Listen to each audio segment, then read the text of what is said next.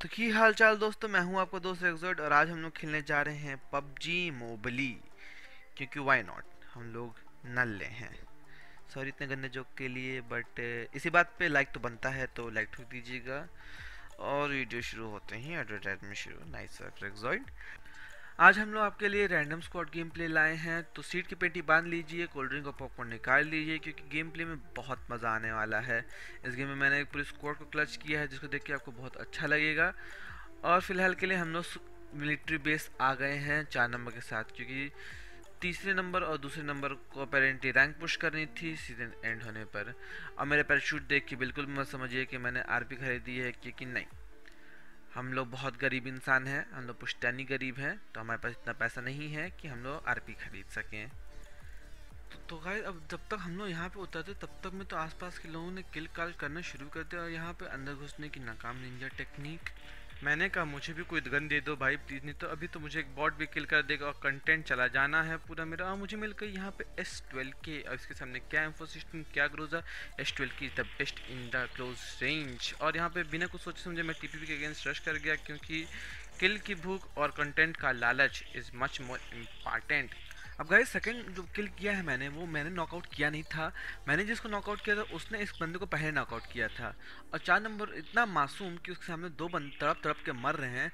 पर he is like bro मैं नहीं मारूँगा, तू मार ले। और मैंने किल चोरी कर ली। क्योंकि किसी महान आदमी ने कहा है डैमेज तो बॉट भी दे देते हैं, पर असली प्लेयर तो वही होता है जो किल चुराता है। गाइस अगर आपको मेरे बैकग्राउंड में से कोई भी अगर आवाज़ आ रही है तो आई एम सो सॉरी मैं एथ फ्लोर पर रहता हूँ अपने बिल्डिंग के, और तब भी यहाँ पे बच्चे इतना ज़्यादा आवाज़ करते हैं। मतलब ये लोग इतने नल्ले हैं, इतने मतलब खलिहर हैं कि सुबह खेलेंगे, दिन में खेलेंगे, शाम को खेलेंगे, पता नहीं कौन से स्कूल में पढ़ते कि स्कूल चलता भी नहीं है, चलता है तो उनके माँ बाप भेजते नहीं हैं इनको, और अगर भेजते तो ये लोग पता नहीं कहाँ से बाबा ग्राउंड में आ जाते हैं। दिन भर खेलना है इन लोग को। इतनी आवाज़ करनी है। पता नहीं कहाँ से इतना जोश आता है भाई इन लोग के पास। तो गाइज़ हम लेबोरेटरी साइड आ गए हैं। मैं इस बिल्डिंग को लेबोरेटरी कहता हूँ। मुझे इसे डिनोट करने में इजी रहता है कॉल आउट देने के लिए। और यहाँ से भी शॉट्स की आवाज़ आई थी तो मैंने सोचा कि यहाँ पे आके किल कर लूँ कि मुझे यहाँ से एक या दो ही बंदों के मूवमेंट दिखाई दे रहे थे। तो अब मैं यहाँ पे आके लेट गया हूँ देखने के लिए कि आसपास कोई बंदा हो जिसकी वजह से मेरी थोड़ी किल बढ़ जाए और केडी तो ऑब्वियसली बढ़ ही जाए।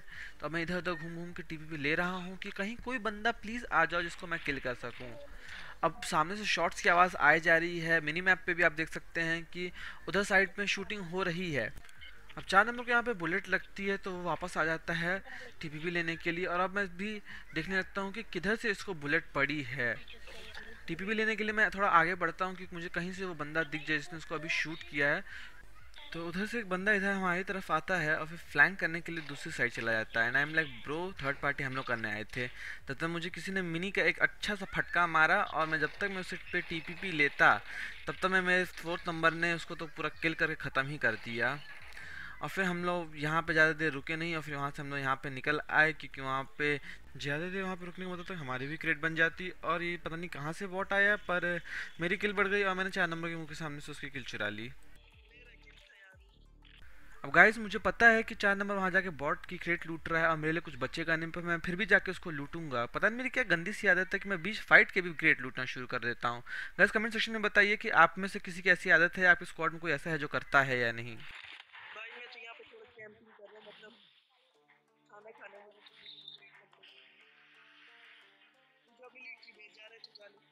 अब गाइस चार नंबर को कोई कैंपिंग नहीं करनी थी, पर वो खाना खा रहा था, इसलिए वो गेम खेल नहीं सकता था तो मैंने सोचा मैं इसको क्यों ना कवर दे दूँ। तो इसलिए मैं इसके साथ आ गया इसको कवर देने के लिए। पर सामने से अब गोलियों की आवाज़ आ रही थी तो मुझसे रहा भी नहीं जा रहा था, क्योंकि किल इंपॉर्टेंट है, ताकि कंटेंट बन सके। तो मैंने वहाँ पर मार्क किया कि वहाँ पर एनिमीज़ हैं, पर चार नंबर को खाना खाना था इसलिए उसने बोल दिया कि तुम आगे चल जाओ। इसको खाना खाना है। राइट खाना ठंडा हो गया है अभी अचानक से पता नहीं कहाँ से ये बॉट आ गया बीच में। मेरी एकदम फट गई थी कि कहाँ से कोई बंदा हम पे शूट करना शुरू कर दिया। अगर अगर आपने अभी तक वीडियो लाइक नहीं की तो आप गाइज़ लाइक कर दीजिए क्योंकि अब इंटेंस होने वाला है सीन पूरा। क्योंकि एक स्कॉट ने हमारे ऊपर एक रश कर दिया था। और जब तक मैं मैं समझता कि गोली कहाँ से आ रही थी, तब तक मैं बंदा ये पता नहीं कहाँ थे कि इतना जल्दी हम लोग के पास भी आ गए। और जब तक मैं मैं समझता कि बंदे कहाँ पे हैं, इन्होंने शूट करना शुरू कर दिया, शायद इन्होंने मुझे देख लिया था अंदर। पर अब आगे देखिए क्या होता है।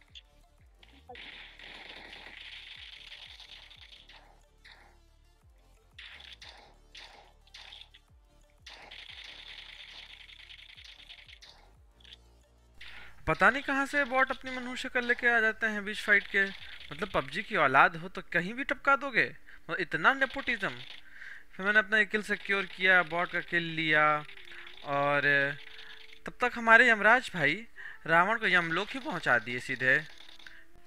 फिर मैंने आराम से यहाँ पे अपना हेल्थ बूस्टअप किया। तब तक पता चला कि डेविल भाई ने हमारे यमराज भाई को नॉकआउट कर दिया है।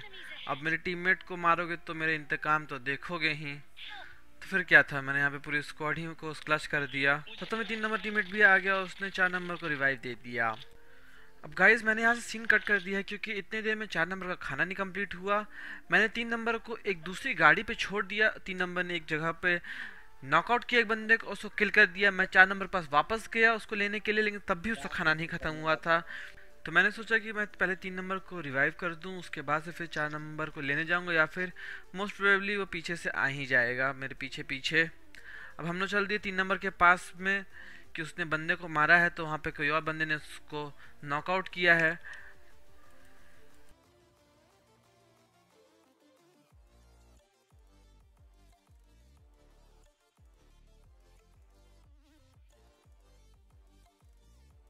अब गाइस मैं तीन नंबर की एक्चुअल लोकेशन से थोड़ा दूर ही पहले उतर गया, ताकि मैं स्कोपिंग करके देख सकूँ कि वहाँ पे कितने बंदे हैं, बंदा कहाँ पे है, कि अगर मुझे दिख जाए तो पर मुझे दिखा नहीं तो मैंने सोचा कि अब पास ही जाके क्लोज रेंज में ही देख लिया जाए कि कौन है।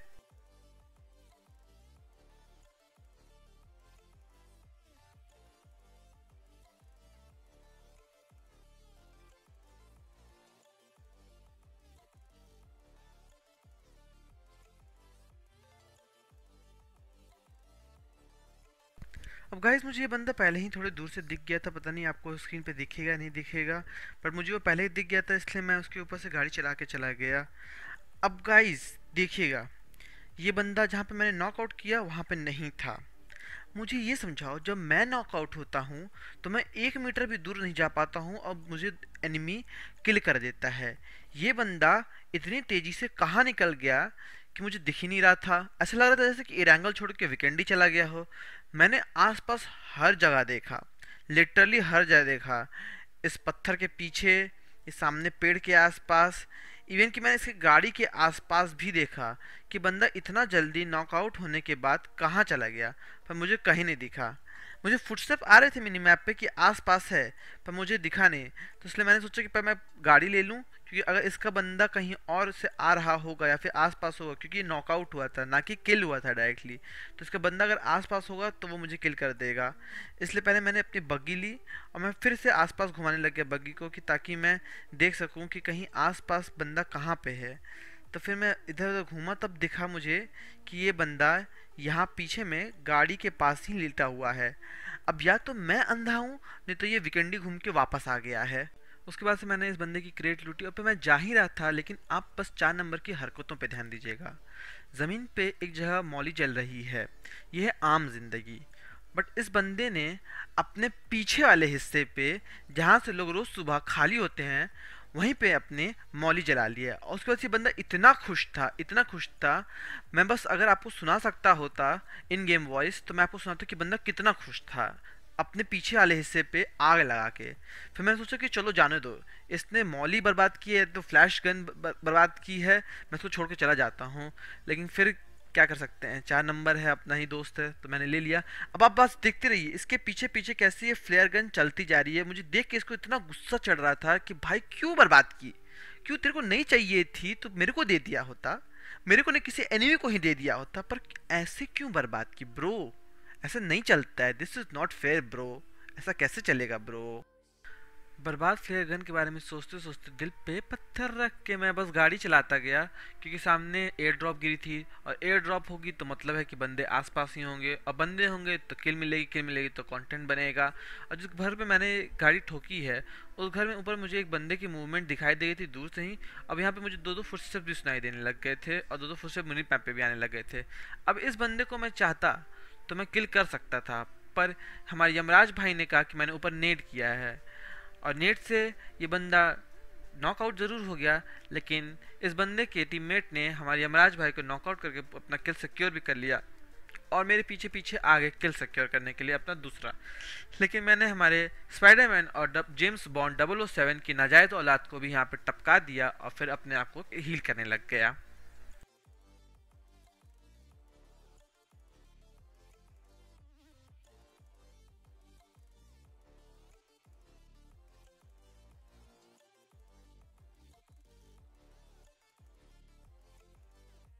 गाइस पेन किलर और मेडकिट लगाने के बाद मुझे साउंड आया कि गाड़ी मेरे बिल्डिंग के बगल से गई है। तो मैं देखने लग गया कि गाड़ी मेरे पास रुकेगी या नहीं, क्योंकि मुझे था कि और किल मिल जाए और कंटेंट बन जाए बट नहीं। ये मेरे पास रुक के अगर मेरा कंटेंट बनवा देती तो कहाँ से ये हो सकता था? तो मैं उठा और आसपास देखने लगे कि एक आध कोई इंसान दिख जाए जिसको मैं मार के अपनी किल बढ़ा लूँ और केडी बढ़ जाए थोड़ी सी। तो मैं सोचने लगा प्लीज़ भाई, कोई आ जाओ। कोई भी चलेगा। एरा गहरा नत्तू कह रहा, कोई भी चलेगा राइट नाउ प्लीज़ आ जाओ। तो यहाँ टीपीपी लेने लग गया। अब यहाँ इस ऊपर वाले टावर पे चढ़ के किल काल निकाल रहा है। तो मैंने सोचा कि क्यों ना इस पे भी टीपीपी ले ली जाए। क्या पता इसका किल मिल जाए मुझे। और मुझे भी अच्छा हो जाएगा, मेरी किल बढ़ जाएँगी। और आसपास के लोगों के लिए भी अच्छा हो जाए, क्योंकि ये बंदा बहुत देर से टावर पे चढ़ के लोगों को मार रहा है। तो मैंने यहाँ पे टीपीपी लेने लग गया। अब मुझे ये बंदा दिख नहीं रहा है। मैंने पूरी कोशिश की कि मैं पेड़ों के थ्रू इसको देख पाऊँ और ये बंदा दिख जाए मुझे, पर मुझे दिखा नहीं। अब मुझे आसपास से गोलियों की आवाज़ तो आ रही थी, पर कोई बंदे दिख नहीं रहे थे। मैं समझ रहा था कि दूर हैं ये लोग, पर मैं सोच रहा था कोई दिख जाए। तब तक मैं ये मासूम इंसान दिखा, और इसे का पता था कि मैं यहीं पे हूँ? अब गाइज़ मुझे ये समझाओ कि ये बंदा कैसे नहीं नॉकआउट हुआ?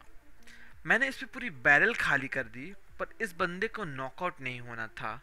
मैंने यहाँ पे नेट खींचा, इसको कुक किया, जो कि ओवर कुक हो गया तो ये हवा में फट गया और ये लोग अलर्ट हो गए और पैनिक रूम से निकल गए। मैंने फिर एक नेट खींचा और उसको कुक करके तरीके से फेंका। बट ये वाला नेट थोड़ा दूर जाके गिरा इन लोग से तो ये लोग और अलर्ट हो गए। अब इनको तीसरा बंदा मुझे दिखा, पर जब तक तो मैं शूट करते बंदा फ्लैंक करने के लिए दूसरे साइड चला गया। मैंने थोड़ी देर वेट किया और टीपी भी लिया कि ये बंदे दिख जाए मुझे, दिख जाए, कोई आ जाओ बाहर तो मैं एक और किल निकाल लूँ।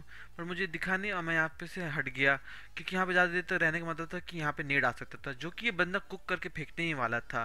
पर ये मुझे दिख गया और मैंने इसे नॉकआउट कर दिया और फिर ये बंदा खुद ही के नेट से फट के मर गया। अब मैं यहाँ से टीपीपी लेना नहीं सकता था क्योंकि यहाँ पे मेरी पोजीशन जा चुकी थी तो मैं यहाँ से हट गया यहाँ पे आके लेट गया घास में, ताकि टीपीपी ले सकूँ इन लोगों के ऊपर। इनका एक बंदा तो मैं खा गया। अब ये दो बंदे, एक बंदा नॉकआउट था, एक बंदा उनको रिवाइव दिया होगा। तब ये दो बंदे अकेले थे वहाँ पे, और मैं यहाँ पे अकेला। तो मैं सोचा क्यों ना इनके ऊपर फ्लैंक कर जाऊँ। और मैं दौड़ के जाता तो ये मेरे पे देख सकते थे तो मैं यहाँ पे लेट के आगे फ्लैंक करने गया। अब ये बंदा यहाँ पे मर गया है, जिसकी क्रेट पड़ी हुई है। अब मैं फ्लैंक करके तो आ गया। तो मैंने सोचा कि अब मैं यहाँ पे टीपीपी लूँ, आराम से और देखूँ कि कहाँ पे तब तक मुझे ये बंदा दिखा। अब मैंने सोचा कि मैं इसको शूट करूँ, लेकिन अब वहाँ पे शूट हो नहीं पाया क्योंकि वो बंदा वहाँ से हटते जा रहा था और मेरा व्यू ब्लॉक हो रहा था इस दीवार की वजह से। तब तक मुझे कहीं से गोलियाँ पड़ी। तो मैं हटने लग गया और मैं सोचने लगे, ओ भाई, मारो मुझे, मारो, मैं तो नूबड़ा हूँ जो यहाँ पे आया हूँ। और मैं यहाँ पे भागने लगा, तब तक इसने मुझे मार ही दिया। यार, इसने तो पूरा सीरियसली ले ली बात को। मैंने तो मज़ाक में बोला था कि मारो भाई, मारो। इसने पूरा सीरियसली मार दिया मुझे। तो अगर आपको ये वीडियो पसंद आई तो लाइक करिएगा शेयर करिएगा कमेंट ज़रूर करिएगा कि कैसा लगा आपको। Till the next video stay healthy and keep helping जिनको आपकी हेल्प की ज़रूरत है। Bye bye